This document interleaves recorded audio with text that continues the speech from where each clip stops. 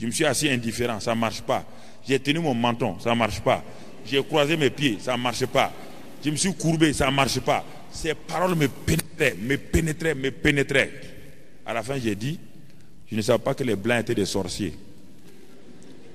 Parce que pour moi, c'était un sorcier. Je ne savais pas qu'il y avait qu'on pas le Saint-Esprit.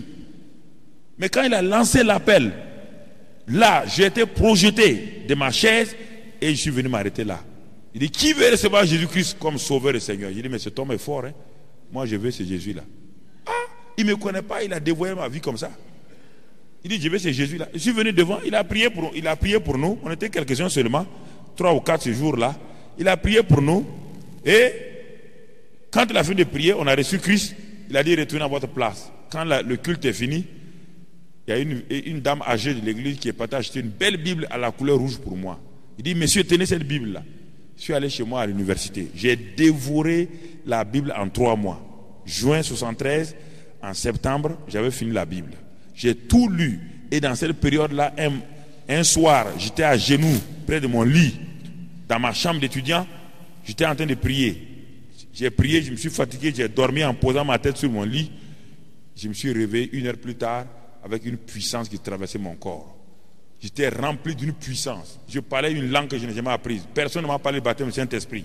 Rempli pendant une semaine, ma vie était traversée comme le feu de l'électricité. Quand je m'en vais à l'église le dimanche prochain, dès que je rentre, le pasteur me regarde et me dit Mamadou, tu es rempli du Saint-Esprit. Il dit Qu'est-ce que ça veut dire? Il dit Mais tu as une puissance qui sort de toi. Il dit Ah, pasteur, j'ai expérimenté quelque chose l'autre nuit là. Il dit C'est ça. Il dit La puissance me traverse. Les dons spirituels ont commencé. Quand je te regarde, je peux te dire quel problème tu as. C'est ça? Les dons spirituels ont commencé. J'ai dit, mais Seigneur, moi je suis fils de musulman. Hein. Je ne suis pas encore retourné au Burkina. Quand je vais retourner, ça va chauffer là-bas. Donc, euh, Seigneur, il faut que je sois sûr que ta Bible est vraie. Hein. parce que ça va chauffer. Hein. Et c'est là, dans ce temps-là, où Dieu m'a fortifié, Dieu a commencé à m'utiliser. Dans l'église, j'ai amené des, des, gens. Il y a eu un réveil dans l'église. J'ai amené des gens, des étudiants, des étudiants français, des arabes, des noirs, tout le monde. Je les ai amenés à l'église il y a comme un réveil, une puissance se manifestait. C'est ainsi que quand je me préparais pour mon doctorat et je, voulais euh, terminer, donc euh, un jour, le 7 février, j'étais dans ma chambre, je priais, priais de minuit à 7 du matin. Je voulais me coucher pour me lever, écrire, donc euh, faire mon, mon, mémoire et ensuite mes choses pour le troisième cycle d'abord. Quand j'ai posé ma tête sur mon oreiller, je vois un écran devant moi comme c'était grand géant sur mon mur, le matin, 6h35 du matin.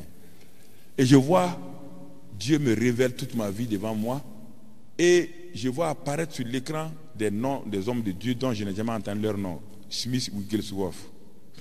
Je n'ai jamais entendu son nom. Branham, virgule. Osborne, point.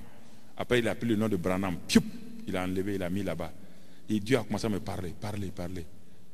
Quand la vision est partie, ça s'est éteint comme l'écran d'un téléviseur. C'était un fou.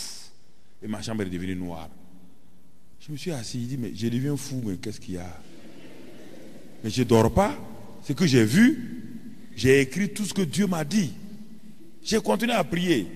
Le 15 février, donc pendant une semaine, la présence de Dieu, le 15 février, à la même heure le matin, je voulais me coucher encore pour me reposer avant d'écrire euh, la suite de mon, de mon travail. Dès que j'ai posé ma tête sur mon oreiller, un vent puissant traverse ma chambre. Vous, et une voix dit, Jésus vient. Quand j'ai entendu Jésus vient, je regarde à droite, je vois le visage de Jésus qui brille. J'ai dit, Seigneur, purifie-moi, tellement j'avais peur. Puis brusquement, je me tourne comme cela à ma gauche. J'étais couché là, sur mon matelas, là, couché. Et je vois Jésus comme ma soeur là, à côté de moi. Jésus est assis en blanc, en personne, physique. Il était là dans ma chambre. Il me regarde. Je le regarde. Il me regarde. Je le regarde. Quand il a vu que je l'ai bien fixé, c'est-à-dire que tout mon être tremblait par sa présence. Mais ça ne fait pas, peur, hein? mais sa présence est glorieuse. Il a pointé son doigt vers le mur où j'étais couché. Il a dit Voici, j'ai détruit les œuvres des ténèbres et tu donnes la puissance sur l'ennemi. Il a parlé, parlé. Quand il a fini, il a fait un pas, deux pas, trois pas. Il a traversé le mur, il est parti. Ça, c'est le 15 février. Le 21 février, la gloire de Dieu descend dans ma chambre plus que le soleil. C'est ça qui m'a donné le courage d'aller affronter mes parents et leur dire que je suis converti. J'ai failli mourir, mais c'est ça qui m'a sauvé. La gloire de Dieu est descendue dans ma chambre.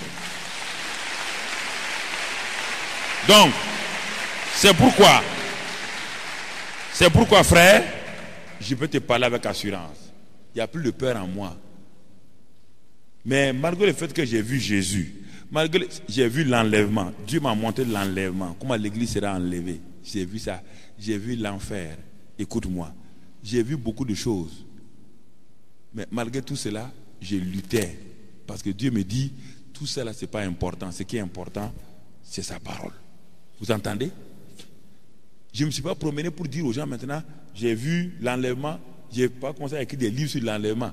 Paul a vu le troisième ciel. Paul a vu des grandes choses. Il n'a jamais écrit ce qu'il a vu au troisième ciel. Il n'avait que prêcher l'évangile. Faites attention. Quand Dieu vous montre un petit truc seulement, vous faites un livre de 300 pages alors que ça ne vaut même pas une page. Vous inventez des choses. C'est ça le problème des gens. Et en ce moment-là, vous mentez sur Dieu. Je peux écrire des livres et des livres ce que Dieu m'a révélé, mais je ne le fais pas. Paul n'a pas écrit, mais il n'a même pas dit un seul mot de ce que Dieu l'a montré au ciel. Il dit ce qui est important, c'est les Écritures. C'est pourquoi je ne prêche que la parole de Dieu. Je ne suis pas venu vous prêcher mes expériences. Je vous ai donné mon témoin de conversion. C'est pourquoi? C'est pour aider des gens ce soir. Mais quand je me convertissais, je ne savais pas que Dieu allait me donner un, si grand ministère. Mais mon pasteur, quand j'ai commencé à travailler au Burkina, et on a fait tout cela, j'ai invité mon pasteur, il est âgé maintenant, il a 80 ans. Quand il est venu, il était découragé, parce qu'il était à la retraite, on l'a mis à la retraite. Et puis personne ne le regardait. Moi, je l'ai invité chez moi. Quand il est venu au Burkina, il a vu tout ce que Dieu a fait. Il dit Alléluia, je peux m'en aller parce que Seigneur, tu m'as utilisé pour sauver ces jeunes hommes-là. Et il a eu un ministère plus grand que le mien. Il est venu à sa femme. Il est devenu brusquement jeune. Et lui qui était découragé, il a dit Seigneur, je te Même ce tel exemple-là me suffit. C'est ça, c'est pourquoi il faut respecter vos pères spirituels. Parce qu'un jour, ils vont vous bénir. Alors que j'ai fait souffrir l'homme là, mon, père spirituel là. Je l'ai fait souffrir. Hein. J'ai fait des bêtises. Donc c'est pourquoi c'est important. Vous qui êtes là aujourd'hui, vous ne savez pas ce que Dieu a préparé pour vous. Il y a des gens, peut-être ici, qui vont bouleverser la Côte d'Ivoire sur le plan spirituel, sur le plan socio-politique, économique. Il y a plein de jeunes gens qui sont assis. Mais votre destin ne peut s'accomplir que si d'abord vous acceptez Christ Jésus votre, votre, votre destin sera activé. Je voulais être un banquier. J'étais en train de me préparer pour être le premier docteur en économie de l'Afrique de l'Ouest. Écoutez. Et le seul qui avait un diplôme de doctorat, c'était votre ancien président Conan Bédier. Il venait de recevoir ça et il, venait, il était à la Banque mondiale, il était ancien ministre des Finances ici. Donc, et puis euh, euh, mon, mon, professeur ici, euh, Souba, après il a changé de nom. Il était recteur ici. C'est lui qui avait un doctorat en théorie économique. Donc, j'allais être un des premiers docteurs en, économie financière. Donc, je cherchais à être à la banque centrale. Je voulais l'argent. Dieu est venu m'attraper pour le col. Il dit, banque centrale ou pas, viens me servir ici. Il dit, mais Seigneur, avec tous mes diplômes là, il dit, va me servir. Comprenez? Mais Dieu a changé. Ce que, ce, que ce que je crois avoir perdu le monde là, mais aujourd'hui, je suis à l'aise. Partout, je rentre partout. Je rencontre des chefs d'État, je rencontre tout le monde, je rencontre de toutes sortes d'autorités. Et Dieu pourvoit à tous mes besoins. Ce que je pensais avoir avec la banque, Dieu me l'a donné aujourd'hui, frère. Dieu me l'a donné. Alors, votre destin ce soir-là, ce matin peut être changé totalement, jeunes gens. Vous êtes en train de crier. Alors Dieu m'a oublié, le gouvernement m'a oublié. Eh, les, professeurs m'ont oublié, mon pays m'a oublié. Dieu ne t'a pas oublié.